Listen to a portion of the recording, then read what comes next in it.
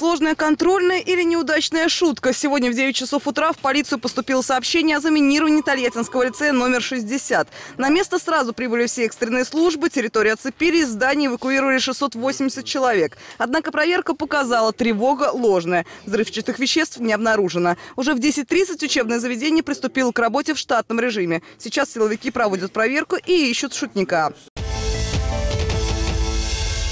103 преступления за сутки, 54 раскрыты по горячим следам. В их числе кражи и мошенничество, так и разбои. Накануне в час ночи двое неизвестных у дома на улице промышленности, причинив побои бейсбольной битой, отняли у 56-летнего жителя Самары сотовый телефон и 9 тысяч рублей.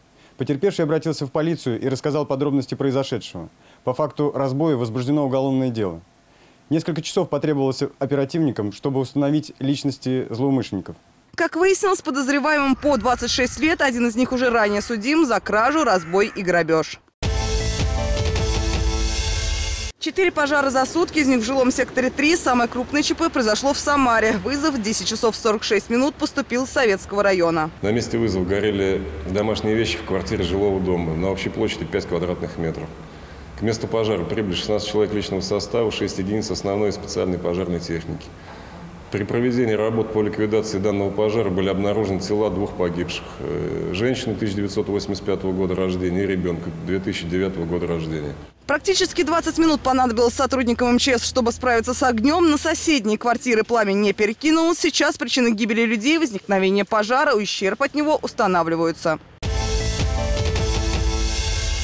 Выйдут не скоро. Суд признал виновными двоих заключенных исправительной колонии номер 10. По версии следствия, уже отбывая наказание, они обманывали людей по мобильному телефону. Представлялись сотрудниками автомобильных компаний, сообщали ложные сведения о выигрыше приза и способах его получения. Главное условие – естественно, оплата налогов. Доказано четыре подобных эпизода. С учетом рецидива один из подозреваемых получил 13 лет лишения свободы, второй – 20. Наказание предприимчивые мужчины будут отбывать в исправительной колонии строгого режима.